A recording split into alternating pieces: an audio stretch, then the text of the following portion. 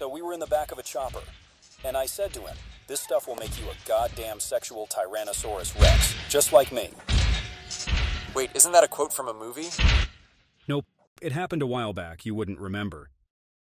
No, I don't think so, Mac. You're talking shit again. Humph. Hey, cut the chatter, you two. How about you two shut it until Timmy reports back? Let's wait here until then. I want everybody to stay sharp. This place gives me the creeps. Ben, you need to relax. It's just a routine patrol. Through an abandoned city where horrible things happened long ago. It's not like it's haunted. Hmm.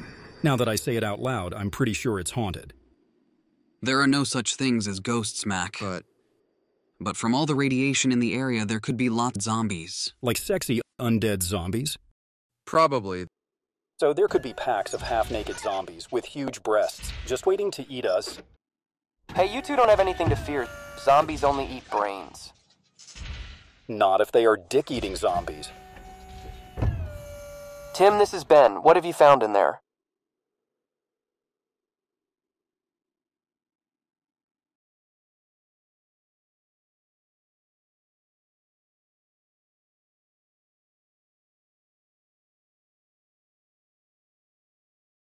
I can't explain the readings we were getting.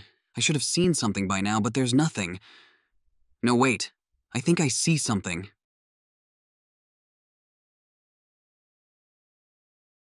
Shit. Mac, get up on that hill. Zach, jump on the other side of the street and get ready.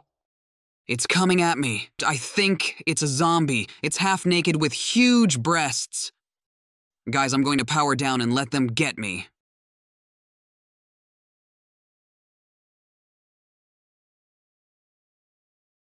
Not funny, Tim. Wrap it up and get back here. I'm on my way.